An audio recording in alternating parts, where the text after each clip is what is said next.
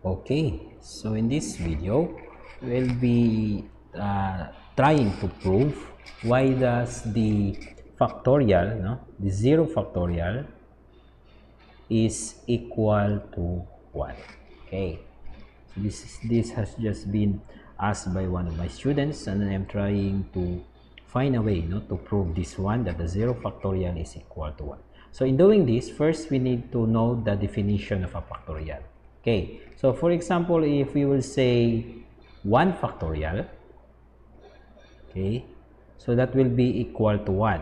We have 2 factorial, that will be equal to 2 times 1. So basically that is definition of a factorial. Or we could say that uh, this one also could be written as 2 times 1 factorial because the factorial of 1 is equal to 1. If we have 3 factorial, so that will be 2 times, uh, we just use the parenthesis, 2 times, this, this is not 2 but 3. No? So that 3 times 2 times 1. And for this one, this part here, this is just equivalent to 2 factorial. So we could write as 3 factorial is equal to 3 times 2 factorial. For example, again, we have 4 factorial. So that will be 4 times times 3 times 2 times 1. And this part here, this part is just equal to 3 factorial. So we could write 4 factorial as 4 times 3 factorial.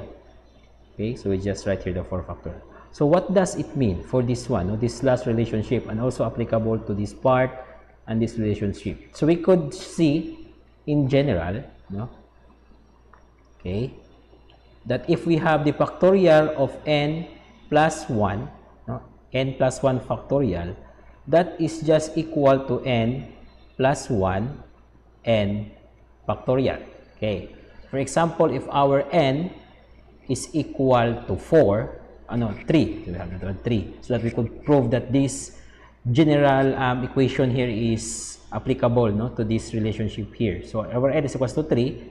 So um, substituting that one to our equation here, so we will have 3 plus 1 factorial is equal to 3 plus 1, 3 factorial. So that will be 3 plus 1, that will be 4 factorial is equal to 4 times 3 factorial which is the same here. So, so this is now our general equation for a factorial. No? So if we are going to use this, uh, this equation here, if we say our n is equal to 0, okay, so this one here.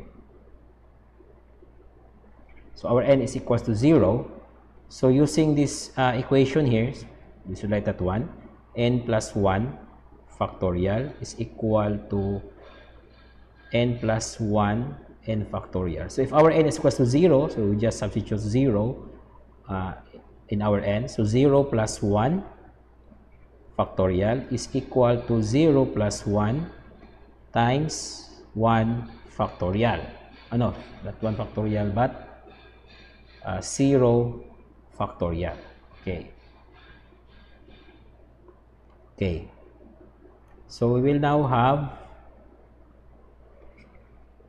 we now have uh, 1 factorial is equal to is equal to 1 1 plus uh, 1 times 0 factorial right then if you are going to divide both sides by 1 okay?